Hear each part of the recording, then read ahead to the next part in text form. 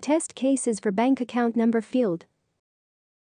Test cases for bank account number field. In this video, we will cover maximum test cases for bank account number field.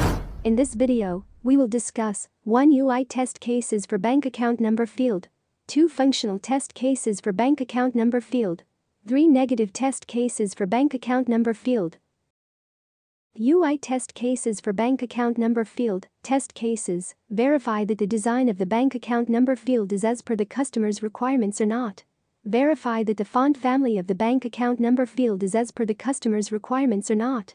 Verify that the font size of the bank account number field is as per the customer's requirements or not. Verify that the color of the bank account number field is as per the customer's requirements or not. Verify that the label text of the bank account number field is as per the customer's requirements or not. Verify that the layout of the bank account number field is as per the customer's requirements or not. Verify that the bank account number field is properly aligned or not.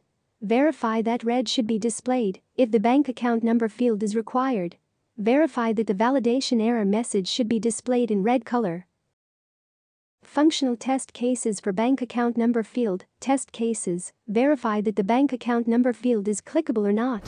Verify that if the user clicks on the bank account number field then the cursor should be displayed in the bank account number field. Verify the maximum length of the bank account number.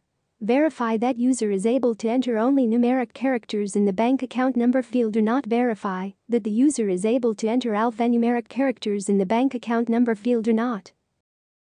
Verify that the user is able to enter numeric and special characters in the bank account number field or not.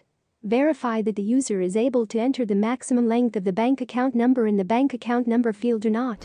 Verify that the user is able to save data if enters a valid bank account number in the bank account number field.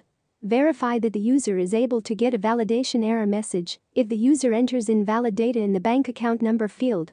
Verify that if the bank account number field is required then the user should not be allowed to save as a blank field. Negative test cases for bank account number field, test cases, verify that the user should get a validation error message if enters less than the maximum length of the bank account number in the bank account number field. Verify that the user should not be able to allow special characters in the bank account number field. Verify that the user should not be able to allow space in the bank account number field. Verify that the user should not be able to allow zeros in the bank account number field.